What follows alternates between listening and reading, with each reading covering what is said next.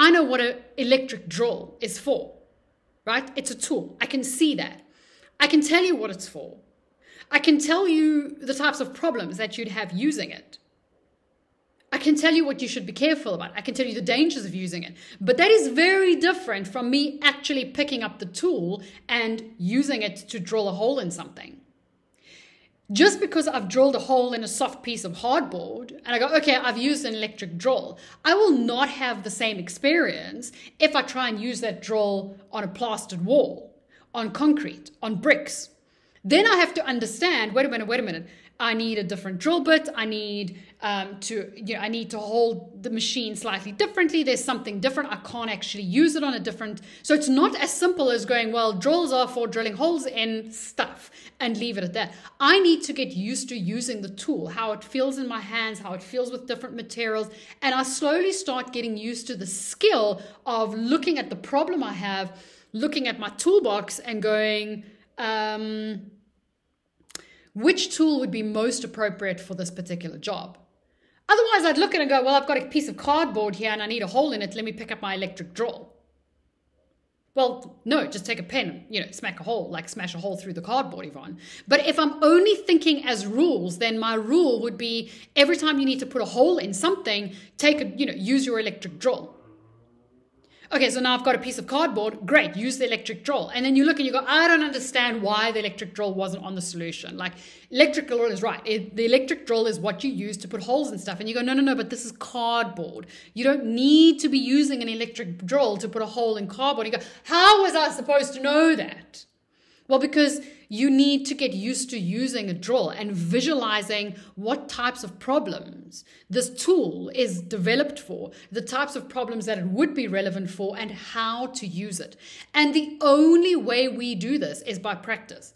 And it's not about saying, I've done three questions, and so now I have a database of three different types of things. If it looks like that, the answer's there, and if it looks like that, and so we're like mentally drawing these big tables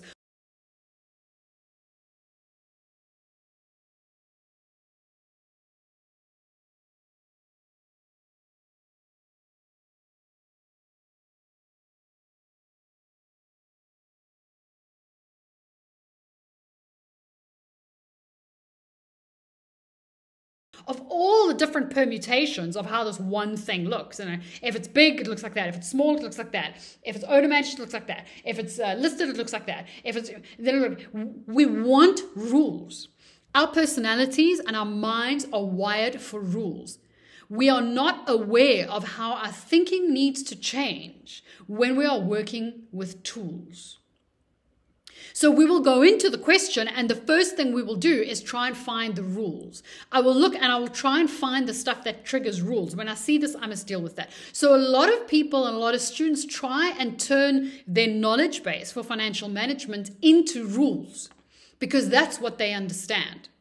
But they're not rules they're tools. And the only way that we get used to using them, and the only way is to practice this is how the tool works, and to look at a new situation and go, well, now this is not the same. Would the same thing apply? Would it be different? What can I think about? I really need to understand the company. I really need to understand what they're doing in order to figure out and to match these two and to create a solution for them, stuff that they should be considered, advising, whatever the case is. When you're thinking of your knowledge base, you've got to be asking yourself is this a rule based thing or a tool based thing? And if it's a tool based thing, man, that requires a different type of thinking. And it's not something that comes naturally to us. So we tend to stay away from it. So my students will use things like, uh, you know, I struggle with out the box thinking. And so that's why I struggle with strategy questions. No, no, no, that's not your problem you don't need to think out the box. You need to get used to using that tool. So you look and go, well, you know, my PESTLE process, PESTLE would be really good to, to, to discuss strategy issues. But just because you know what PESTLE is and what the P and the E and the S and the T and the E and the L stand for, doesn't mean you can use it. Because, okay, great. So I need to think about the political situation or I need to think about political stuff when I am talking about strategy. But, but but what does that look like? Like, what what does that mean? You can't just go, oh, I need to think of political stuff. Yeah, okay. And your client's going, oh, good point. Yeah, political stuff. Yeah, that's important. What what, what does that mean in my life? Like, what does that mean to me?